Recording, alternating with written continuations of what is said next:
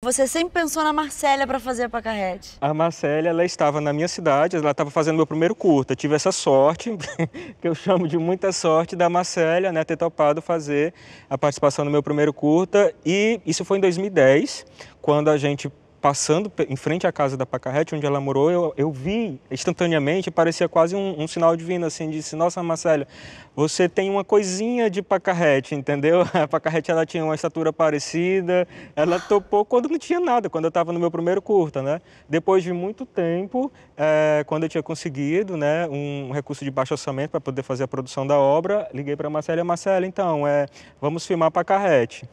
Aí eu me tremi, né? Disse, não, não estou preparada, eu não sei balé, nunca, nunca fiz balé. E aí eu, eu fiquei muito medo, mas é, essa pré-produção começava com dois meses, né, Alan? E a gente ia filmar, e eu tinha que ficar nas pontas, tinha uma, uma, uma duas coreografias para aprender, né, que era a abertura do filme e o final do filme determinado momento, o Alan chegou para mim que foi o momento assim mais difícil, né? Foi que ela tinha que ter uma voz. Eu, Alan, pelo amor de Deus, como é que eu vou criar uma voz, uhum. Né? E aos poucos, num café da manhã, a gente conversando, aí eu fui treinando algumas vozes. Aí, Alan, agora você tem que sustentar isso durante o filme. O que, que, que você está fazendo?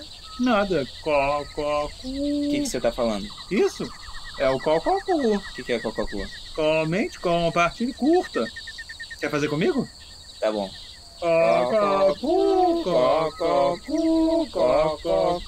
E a gente fica repetindo isso pra sempre.